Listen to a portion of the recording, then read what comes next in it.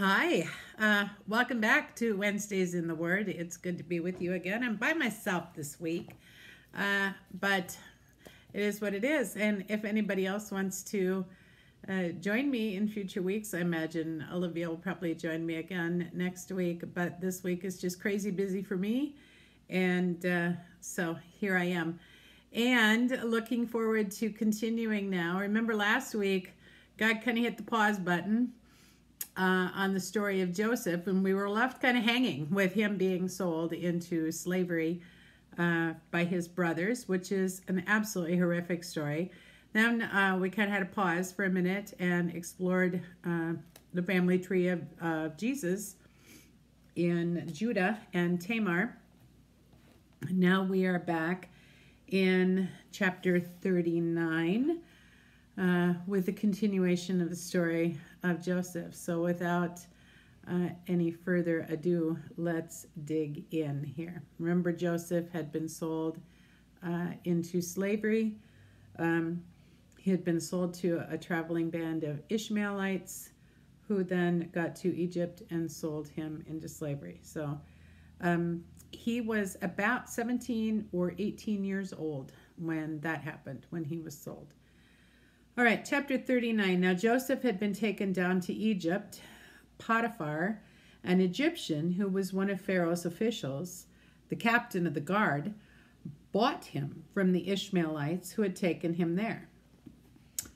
The Lord was with Joseph, and he prospered, and he lived in the house of his Egyptian master. All right, it's important for us to kind of take note of this uh, here. Joseph is successful because the Lord is with him. Um, but even if he's not successful, the Lord is with him. Um, the Lord is with Joseph. It's um, it's kind of uh, an interesting technique that we see here at the beginning and end of chapter 39 is bracketed by this statement that the Lord is with Joseph. It's important for us to remember that and that he is successful because the Lord is with him. And also, I think we get um, the sense that Joseph has an awareness that God is with him, that Yahweh, the Lord, is with him. And it's important to know that that is Yahweh, uh, the Lord, who is with him, because Joseph is in now a land that has. Uh, a lot of uh, different gods. It's a it's a land of polygamy, not polygamy, um, polytheistic, um, and uh, so they worship many gods. But it is the one true God who is with Joseph, and he is named. Um, I think I've talked about this before to some of you, uh, but uh, for those of you who maybe this is new when you notice any time in your Bible um, the word Lord that is in small capital letters, small caps, that is the proper name of God, Yahweh. It is the name that is given to him as or given to us that God tells us is his proper name.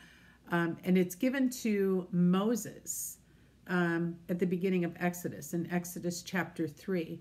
And you've heard that maybe translated or read that translated as I am. The way that translates in Hebrew is the letters Y, H, W, H. And um, there are no vowel points um, with that. So we kind of guess at the vowels that go with that. Yahweh, Y A H W E H. That is the name in Hebrew. It is the proper name of the Lord God. It is translated then into English um, as uh, Lord, L O R D, capital letters. Uh, it's a complicated reason that it's translated with that word Lord um, I'll simplify it by saying that the name of God, the holy name of God, the proper name of God, Yahweh, is so sacred um, to the Jewish people, um, and even for many years was to the Christian people, that it was never spoken. So whenever they would come across it in reading, and this continues to the day to this day, um, the name is not read aloud because there is a fear that you would dishonor the name somehow.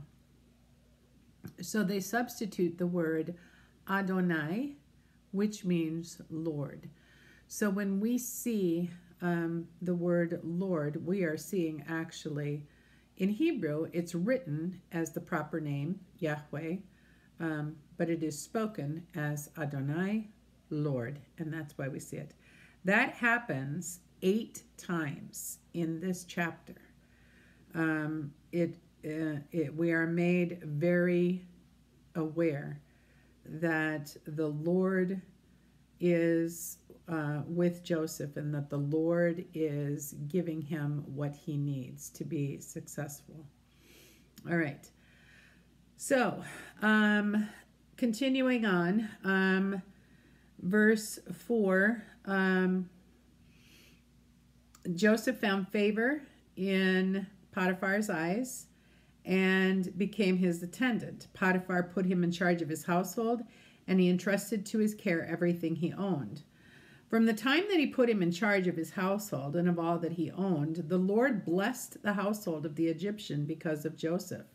The blessing of the Lord was on everything Potiphar had, both in the house and in the field. All right, so here we are seeing what's come true, what God promised Abraham way back when. I will bless those who bless you, I will curse those who curse you. Joseph is being blessed um, because of the faithfulness of God to his promise. Potiphar is treating Joseph well, and so Potiphar is being blessed as a result of that. All right, so he puts Joseph essentially kind of in charge, like his like right hand man or whatever, um, in charge of uh, his household. It puts um, uh, Joseph in, leaves everything in Joseph's care because Potiphar has um, traveling and work and stuff to do.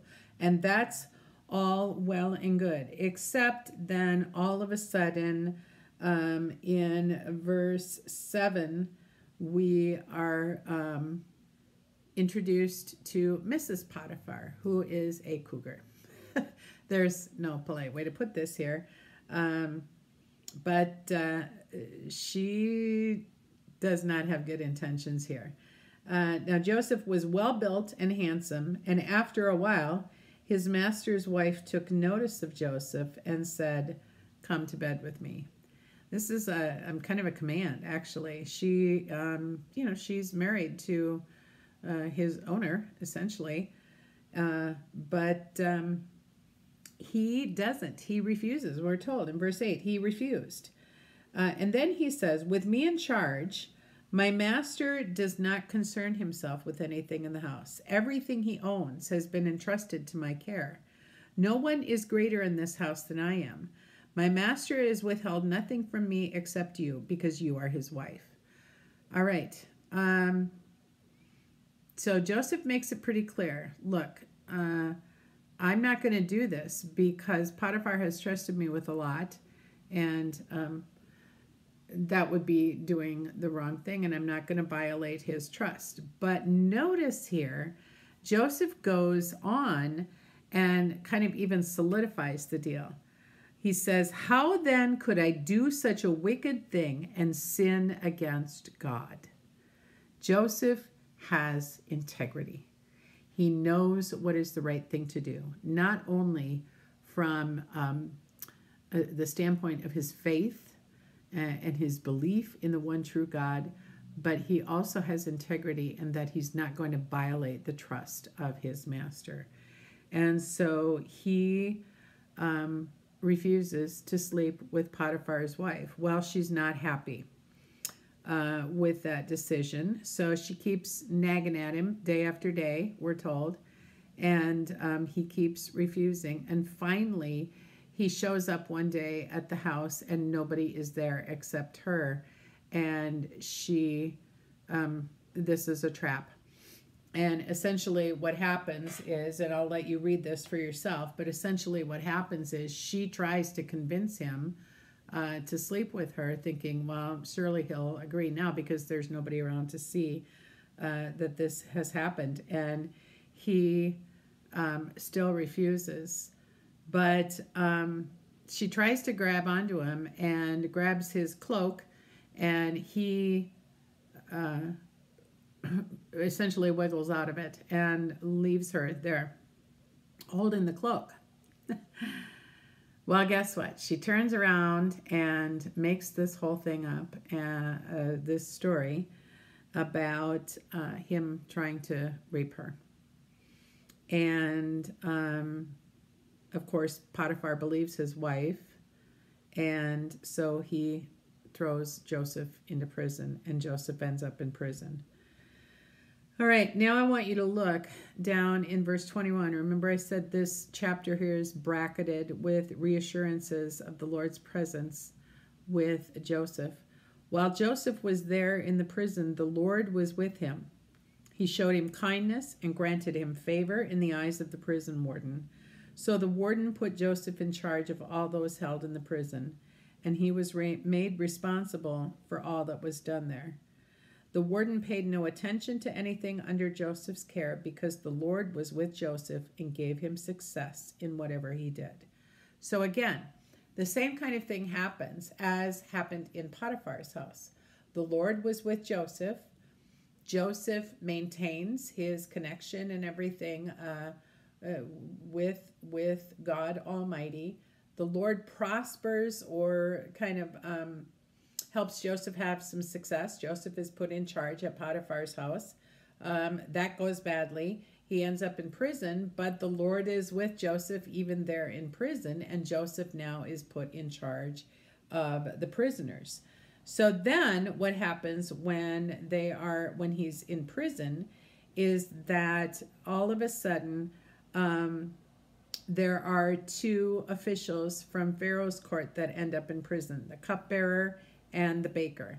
And they end up in prison, and Joseph has charge over them. Well, lo and behold, they have dreams. Remember, Joseph earlier at the very beginning of his story uh, had dreams. Interestingly enough, the dreams that Joseph had when he was a kid were not interpreted, and um, he didn't have the ability to interpret those. At least, we're not told that he did. Um, but now, all of a sudden, here he is in this bad situation, and he is given the ability to interpret dreams. Um, they both the cupbearer and the baker come to him and say, "We had these bad dreams," and and they're like, "Can you tell us what they might mean?" And Joseph's response is, "Interpretations belong to God." Uh, but tell me your dreams and I'll see uh, what God has to say. And so he interprets their dreams. He interprets the dream first of the cupbearer, and that's a favorable interpretation that the cupbearer is going to be restored to his position. Verse 14, um, then Joseph tells the cupbearer, he says, When all goes well with you, remember me and show me kindness. Mention me to Pharaoh and get me out of this prison for I was forcibly carried off from the land of the Hebrews, and even here I have done nothing to deserve being put in a dungeon. We see for a minute here, Joseph gets, uh, and who wouldn't? I mean, he gets real personal. He's like, look, I'm here um, for all the wrong reasons. I'm here because I was sold by my brothers. I'm here because, uh, you know, my owner's wife wanted me to have sex with her, and I wouldn't. Um, so what he does then with this cupbearer is like, look, I did you a solid. Will you do me one? Um, and so um, then the baker has a dream also that he tells Joseph, and Joseph interprets that as well. Uh, and both of those uh, come true. But then at the end of chapter 40, uh, we are given just this really kind of sad uh, commentary here. The chief cupbearer, however, did not remember Joseph. He forgot him. Can you imagine being Joseph? I mean, three days. Uh, the cupbearer and the baker are both taken out of prison, and he's like probably hoping um, and counting on this cupbearer uh, mentioning him to Pharaoh and getting him out of prison, and nothing happens. Uh, it it doesn't happen. Um, this is a really kind of a, a sad time for Joseph. Um, now we move into chapter 41, and we're told when two full years had passed, Pharaoh had a dream. All right, so Joseph waits two more years uh, in prison. And then Pharaoh has um, actually two dreams. All right, so how old is Joseph? He's probably about 28 now. Um, and we, we get that number because we know that then later um, we're told that he's 30 when um, he interprets the dreams of Pharaoh. So he's 28 when the cupbearer leaves uh, prison and waits another two years.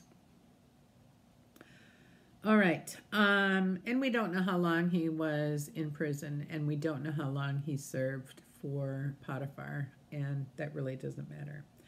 All right. Pharaoh has two dreams.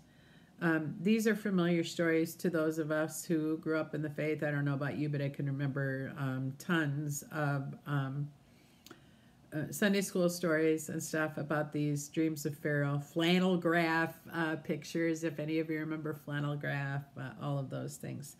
Um, so Pharaoh has these dreams, and oh, all of a sudden, then, uh, verse 9, the chief cupbearer, whoa, lo and behold, remembers, and he's like, dang, I forgot. And so he then says to Pharaoh, he says, Today I am reminded of my shortcomings.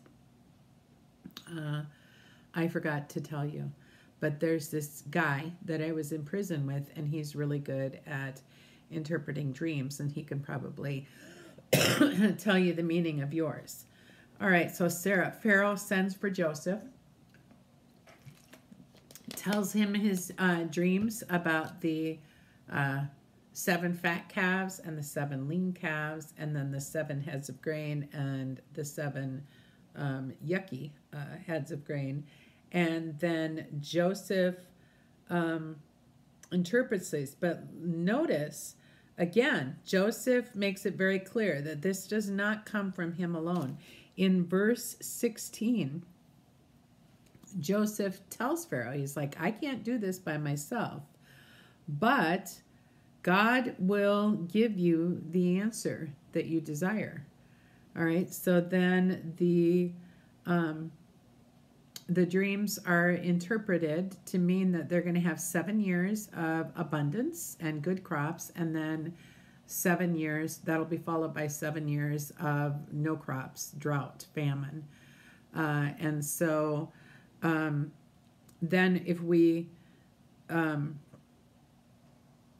uh, go down to verse 31 in chapter 41, um, Joseph says, The abundance in the land will not be remembered because the famine that follows it will be so severe.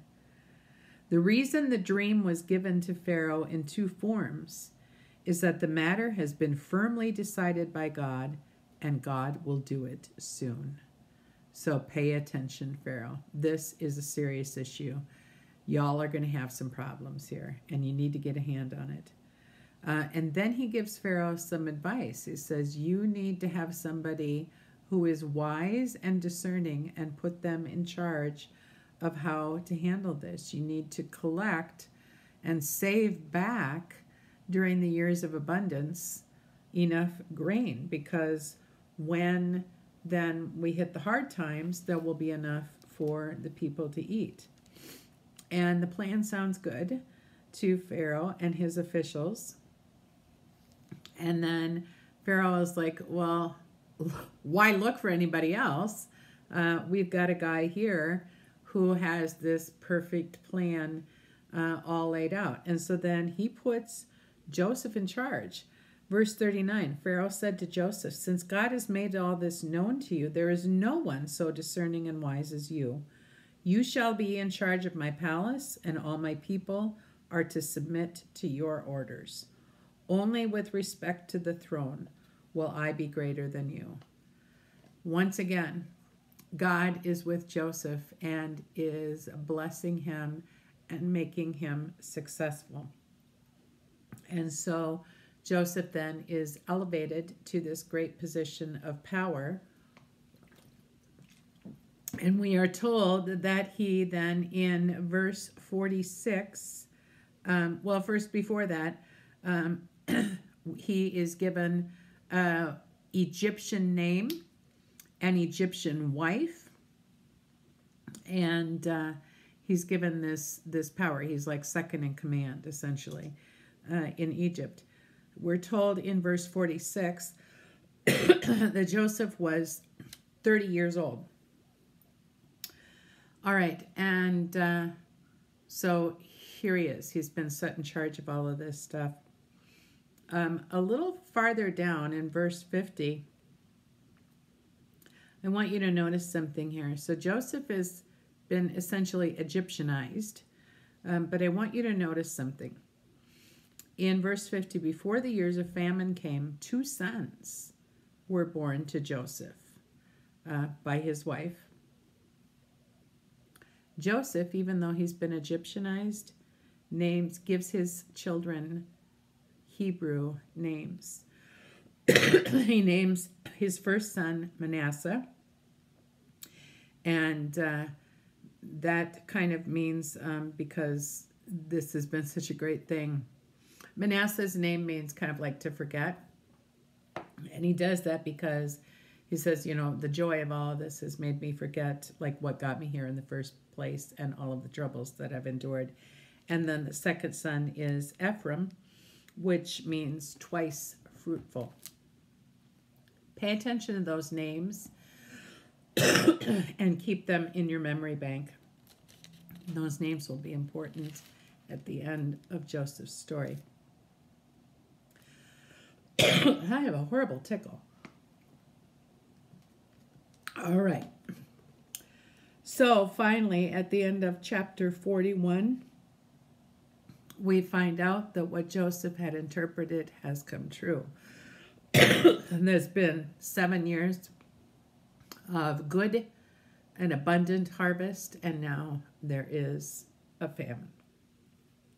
And we're told at the end of chapter 41 all the countries came to Egypt to buy grain from Joseph because the famine was severe in all the world. All right. So what Joseph has done has um, set things up, and actually what God has done is set things up um, to uh, figure very significantly here in uh, the rest of the story. Uh, and for those of you who know the end of the story, you know what's coming. For those of you who don't, um, I'll give you a little bit of a teaser in that Joseph will be, at long last, reunited with his brothers. And how will he act? Let's wait and see. All right, thanks for joining me this week. Let's close our time together in prayer. Gracious God, we thank you for the gift of your word. We thank you for the truth that this lesson for us contains. That no matter what happens to us, you are always with us, and that you help us even when things look the bleakest. Lord, we're in a time when things look bleak. We ask you to help us remember that you are with us and that you are blessing us. Help us to look for those blessings and see your hand upon us. I pray for all of us, Lord, uh, uh, this next week. Help us to have a good week, to do good to others, and to share the gospel when we have opportunities to do so. We pray this all in the precious name of our Lord and Savior Jesus Christ. Amen. Thanks for joining me today. It was good to have you with me, and I will see you again next week.